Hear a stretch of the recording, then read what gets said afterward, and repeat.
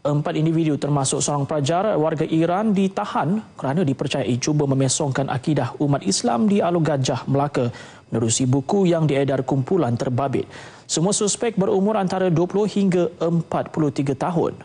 Menurut Ketua Penguatkuasa Jabatan Agama Islam Melaka, Jaim Rahimin Bani, pihaknya menerima aduan orang ramai berhubung kegiatan kumpulan terbabit yang mengedar buku yang diterbitkan dalam bahasa Malaysia Inggeris, Mandarin dan Tamil itu di sebuah taman perumahan di Alur Gajah.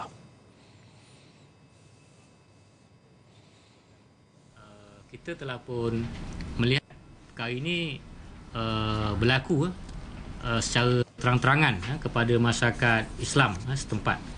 Dan uh, kita telah maklum bahawa Islam adalah agama persekutuan. Uh, kita ada kebebasan. Namun di peringkat negeri kita ada sekatan. Ha, sebarang pengembangan ataupun dakwah bukan Islam ke atas Islam ada di. Dan uh, mereka kena menghormati uh, peruntukan yang ada dan kita telah membuat siasatan kepada uh, keempat-empat aspek eh, semua suspek yang ditahan dibebaskan dengan seorang penjamin. Kes akan dibawa ke Mahkamah Sivil mengikut Seksyen 8-1 Sabi kesalahan boleh didenda RM1,000.